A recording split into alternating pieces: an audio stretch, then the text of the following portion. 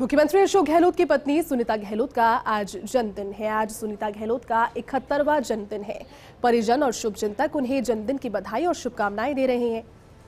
तो इकहत्तरवा जन्मदिन आज मुख्यमंत्री अशोक गहलोत की धर्मपत्नी सुनीता गहलोत का हमेशा उनके साथ कंधे से कंधा मिलाकर चलने वाली मुख्यमंत्री अशोक गहलोत की धर्मपत्नी सुनीता गहलोत, जो कि आज अपना इकहत्तरवा जन्मदिन मना रही है।